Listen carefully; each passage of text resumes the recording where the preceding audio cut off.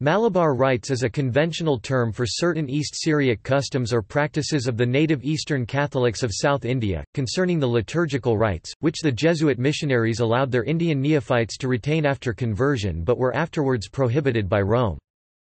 The missions concerned are not those of the coast of southwestern India, to which the name Malabar Coast properly belongs, but rather those of nearby inner South India, especially those of the former Hindu kingdoms of Madurai, Mysore and the Carnatic. Origins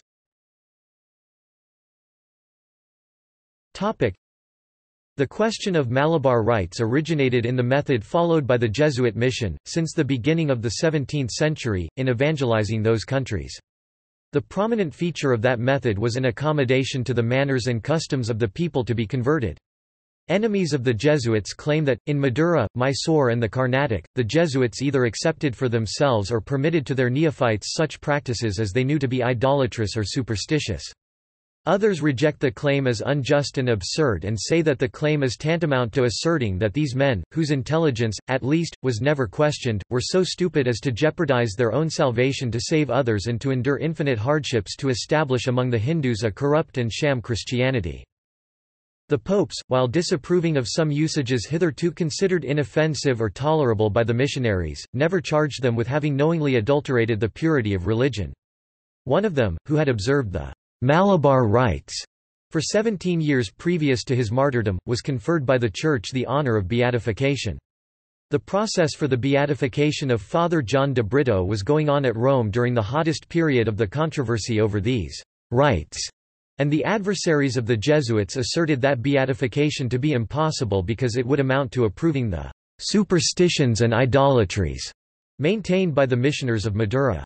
Still, the cause progressed, and Benedict XIV, on 2 July 1741, declared, "...that the rites in question had not been used, as among the Gentiles, with religious significance, but merely as civil observances, and that therefore they were no obstacle to bringing forward the process." The mere enumeration of the decrees by which the question was decided shows how perplexing it was and how difficult the solution.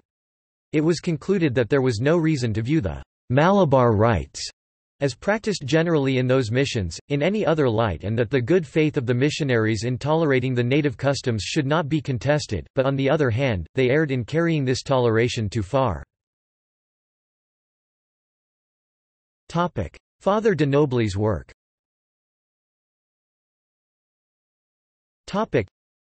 The founder of the missions of the interior of South India, Roberto de Nobili, was born in Rome, in 1577, of a noble family from Montepulciano, which numbered among many distinguished relatives the celebrated Cardinal Roberto Bellarmine. When 19 years of age, he entered the Society of Jesus, and, after a few years, the young religious, aiming at the purest ideal of self-sacrifice, requested his superiors to send him to the missions of India. He embarked at Lisbon, 1604, and in 1606 was serving his apostolic apprenticeship in South India, where Christianity was then flourishing on the coasts.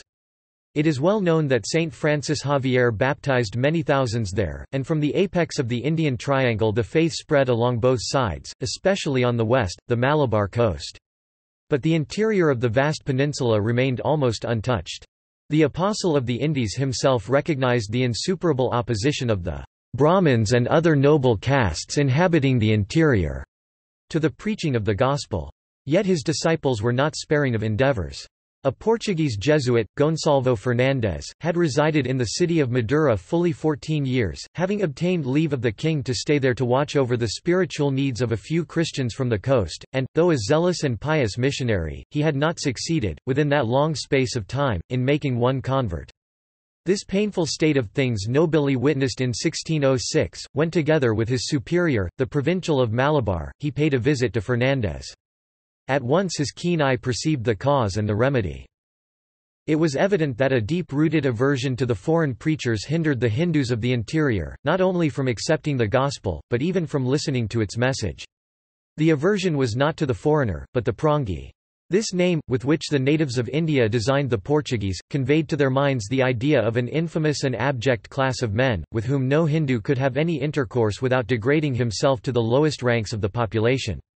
Now the Prangi were abominated because they violated the most respected customs of India, by eating beef, and indulging in wine and spirits, but much as all well-bred Hindus abhorred those things, they felt more disgusted at seeing the Portuguese, irrespective of any distinction of caste, treat freely with the lowest classes, such as the pariahs, who in the eyes of their countrymen of the higher castes, are nothing better than the vilest animals.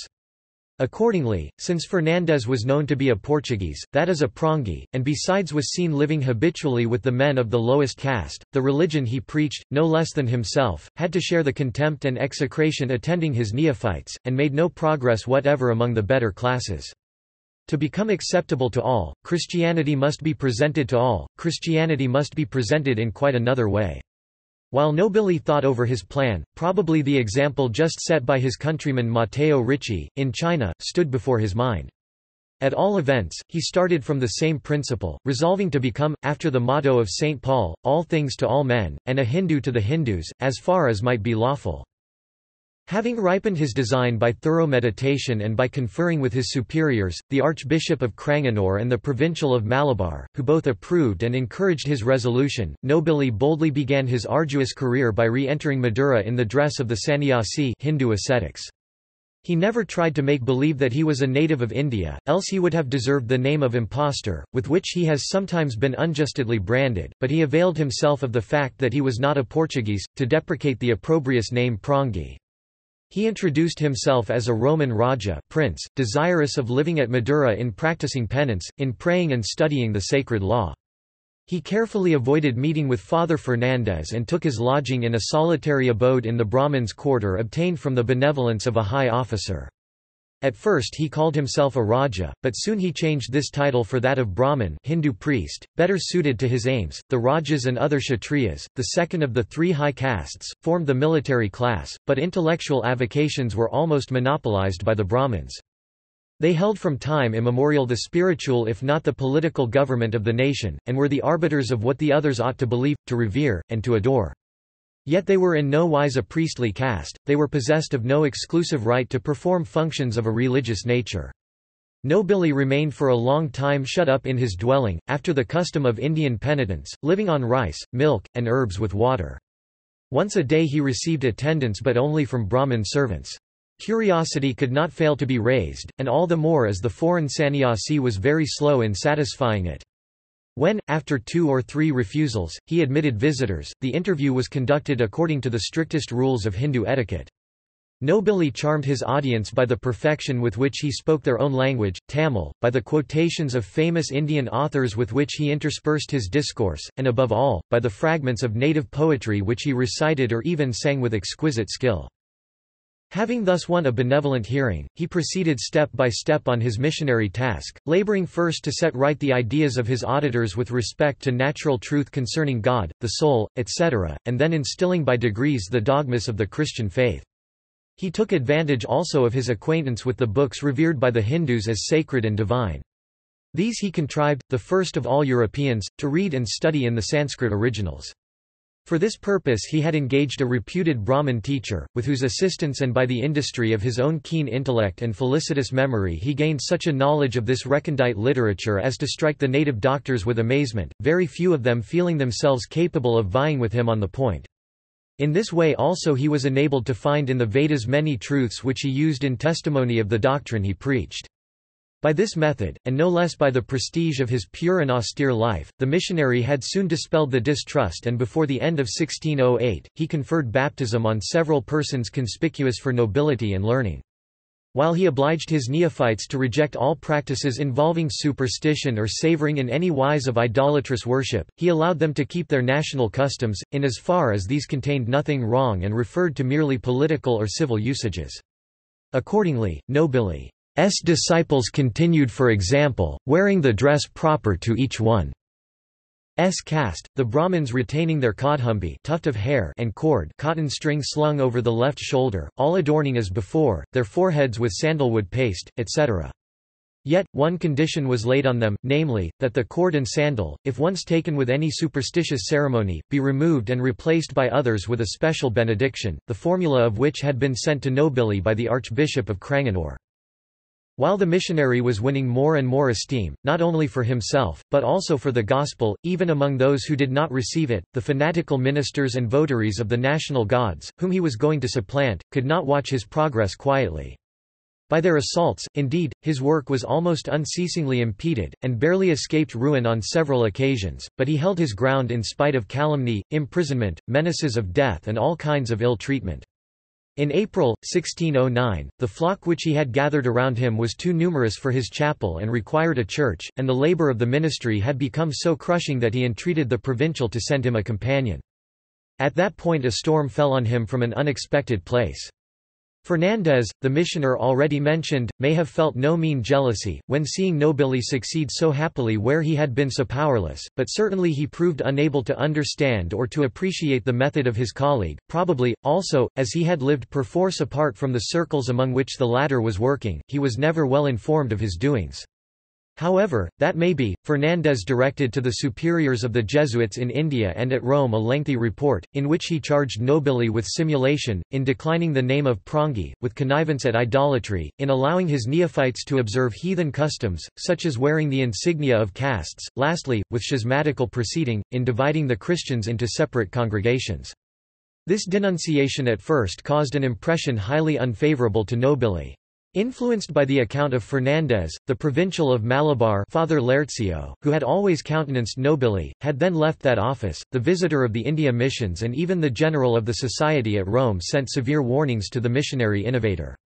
Cardinal Bellarmine, in 1612, wrote to his relative, expressing the grief he felt on hearing of his unwise conduct. Things changed as soon as Nobili, being informed of the accusation, could answer it on every point.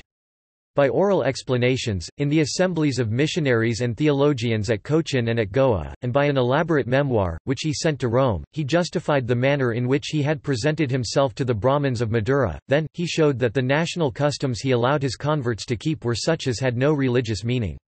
The latter point, the crux of the question, he elucidated by numerous quotations from the authoritative Sanskrit law books of the Hindus.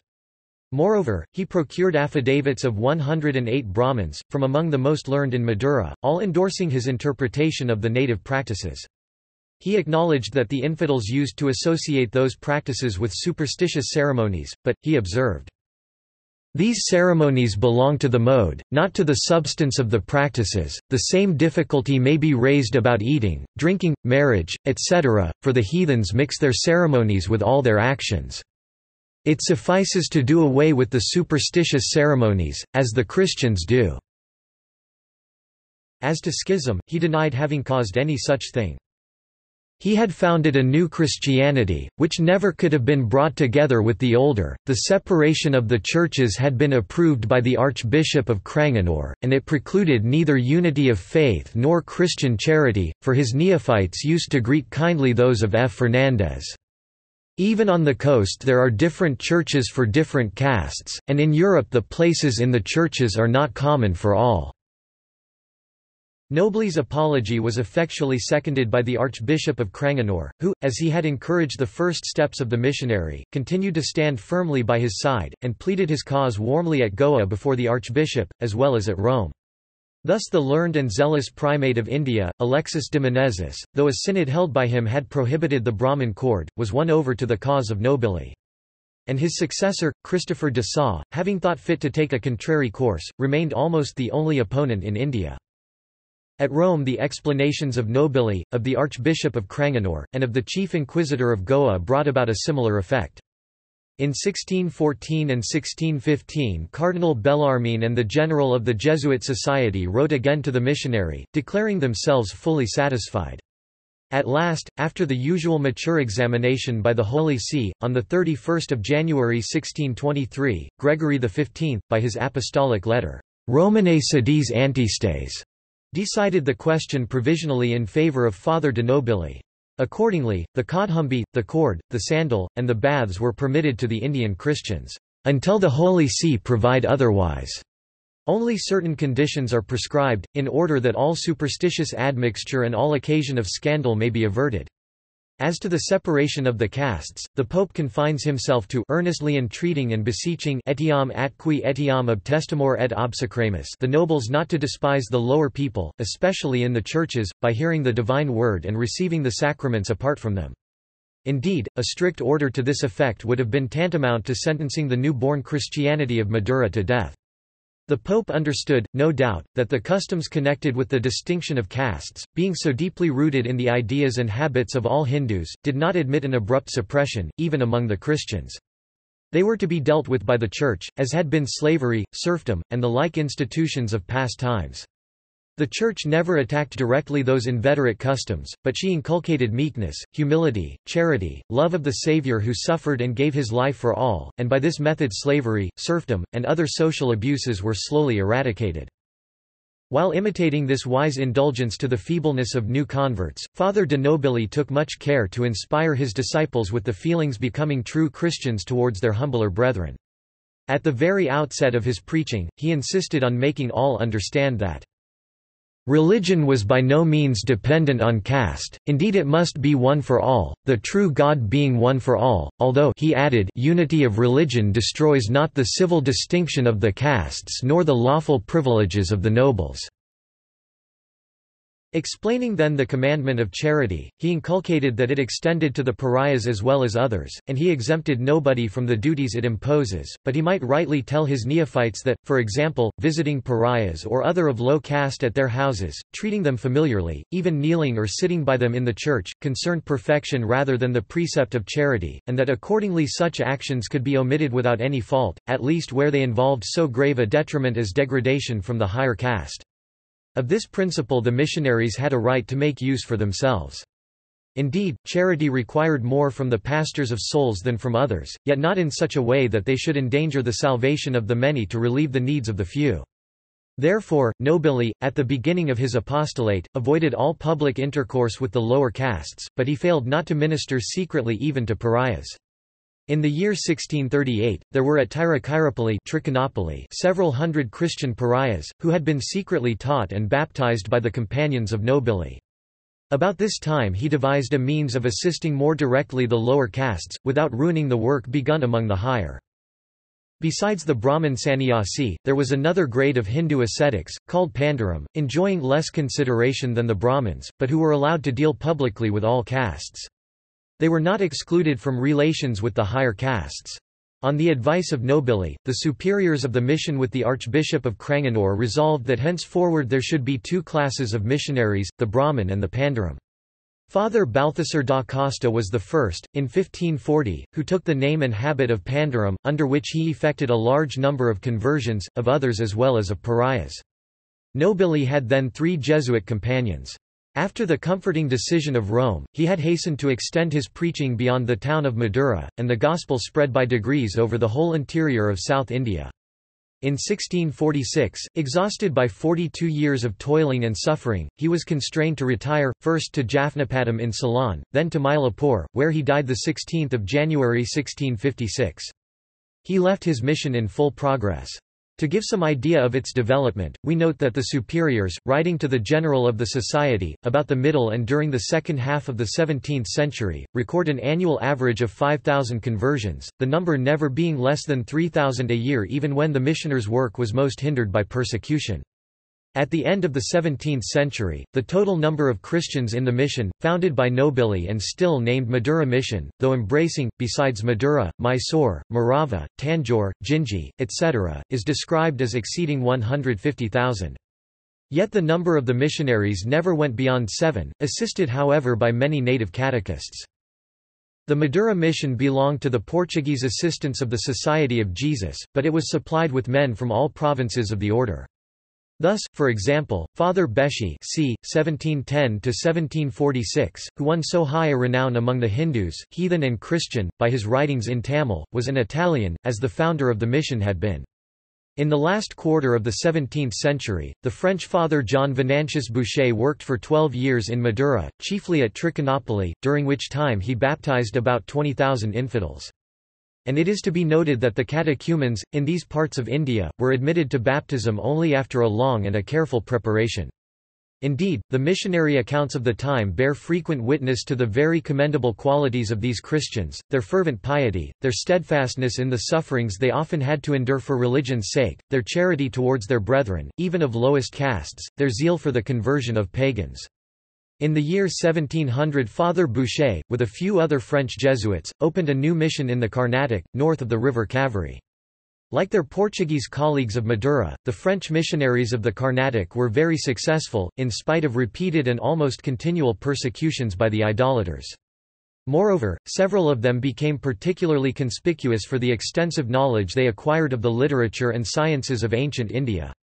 From Father Coeurdoux the French academicians learned the common origin of the Sanskrit, Greek, and Latin languages, to the initiative of Nobili and to the endeavours of his followers in the same line as do the first disclosure of a new intellectual world in India. The first original documents, enabling the learned to explore that world, were drawn from their hiding places in India, and sent in large numbers to Europe by the same missionaries.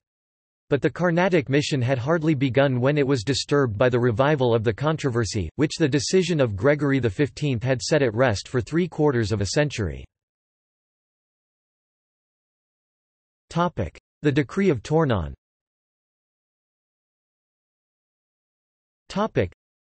This second phase, which was much more eventful and noisy than the first, originated in Pondicherry. Since the French had settled at that place, the spiritual care of the colonists was in the hands of the Capuchin Fathers, who were also working for the conversion of the natives. With a view to forwarding the latter work, the Bishop of Mylapore or San Tome, to whose jurisdiction Pondicherry belonged, resolved, in 1699, to transfer it entirely to the Jesuits of the Carnatic Mission, assigning to them a parochial church in the town and restricting the ministry of the Capuchins to the European immigrants, French or Portuguese.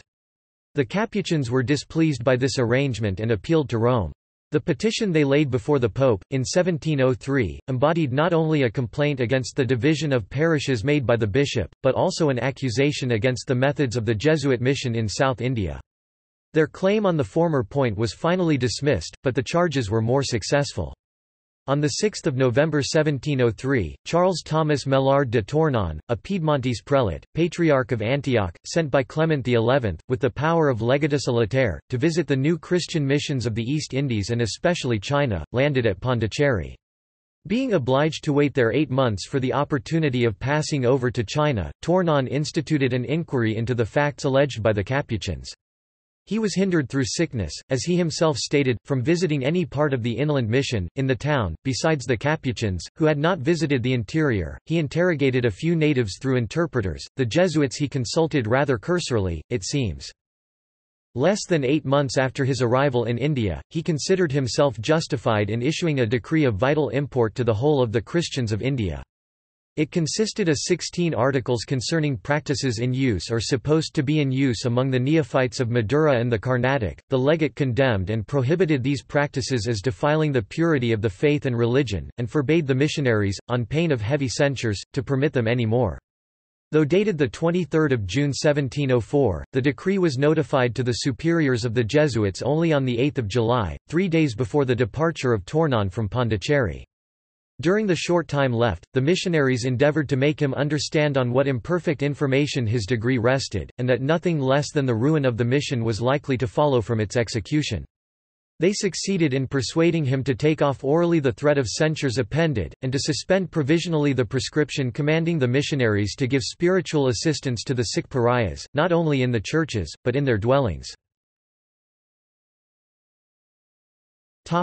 Examination of the Malabar Rites at Rome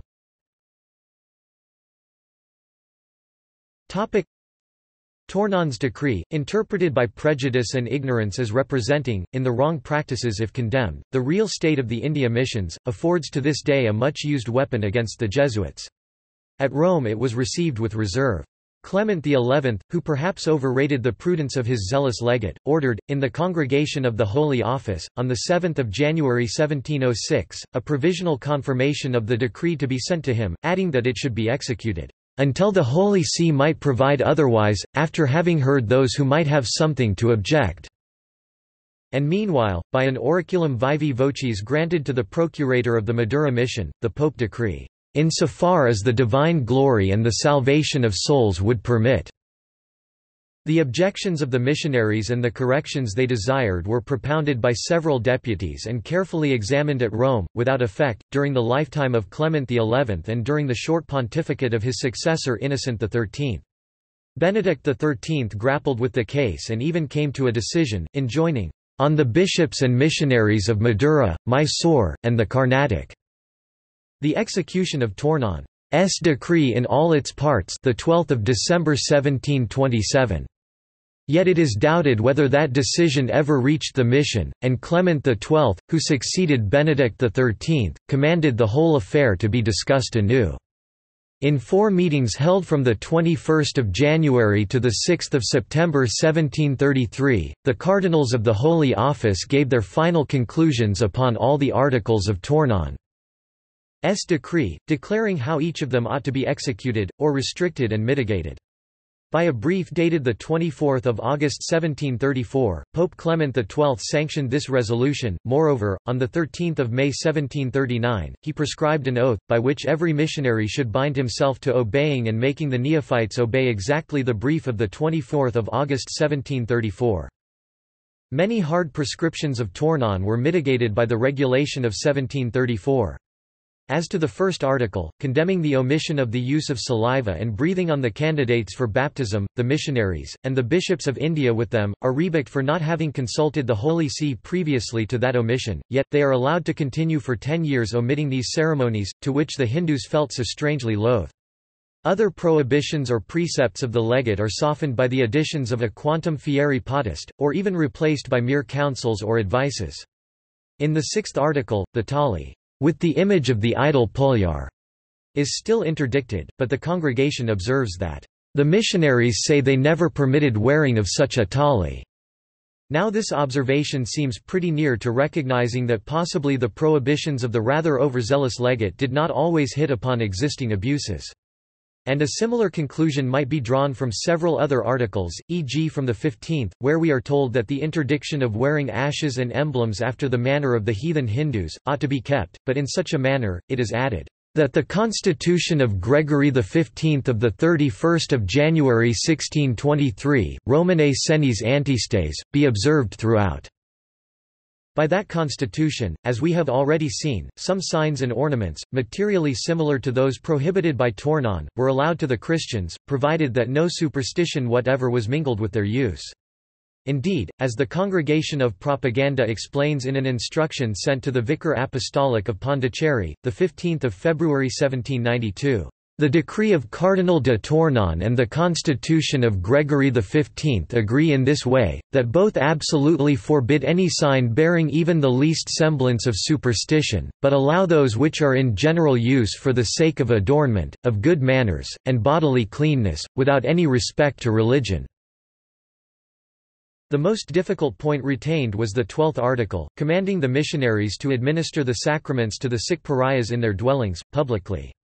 Though submitting dutifully to all precepts of the Vicar of Christ, the Jesuits in Madura could not but feel distressed, at experiencing how the last especially, made their apostolate difficult and even impossible amidst the upper classes of Hindus. At their request, Benedict XIV consented to try a new solution of the knotty problem, by forming a band of missionaries who should attend only to the care of the pariahs. This scheme became formal law through the constitution, Omnium Sollicitudinem, Published 12 September 1744. Except this point, the document confirmed again the whole regulation enacted by Clement XII in 1734.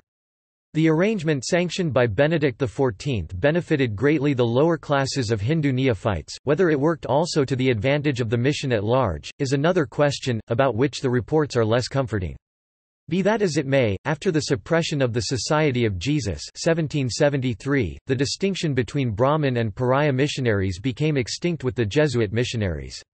Henceforth conversions in the higher castes were fewer and fewer, and nowadays the Christian Hindus, for the most part, belong to the lower and lowest classes.